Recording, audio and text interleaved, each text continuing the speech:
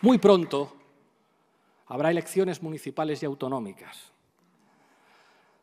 Y algunos piensan que es una magnífica oportunidad para que Podemos tenga un mal resultado y para que Izquierda Unida desaparezca, porque eso dejará todo el campo de la izquierda abierto para una nueva izquierda que no será perseguida por las cloacas y que no será tratada de manera negativa por la progresía mediática. El nivel de ingenuidad de tal planteamiento es de una dimensión sonrojante. ¿Quién piensa que le puede ir bien a las elecciones generales a una candidatura de la izquierda si a Podemos le va mal en las elecciones municipales y autonómicas? Hay que ser estúpido.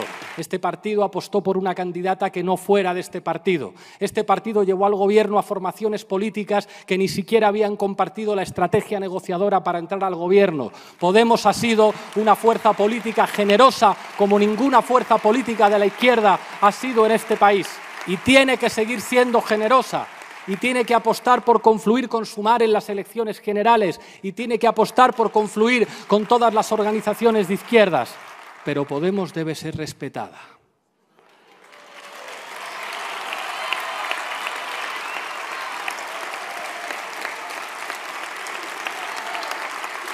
No voy a ser yo quien diga que Podemos es la organización política más importante de la izquierda española. Lo ha dicho Ferreras, lo dicen los poderes mediáticos cada vez que atacan a Podemos, lo dicen las cloacas, lo dicen los jueces que persiguen a esta organización política. Y por eso los que dicen que Podemos tiene que morir vuelven a reconocer otra vez que Podemos es condición de posibilidad de que la izquierda siga cambiando cosas en este país.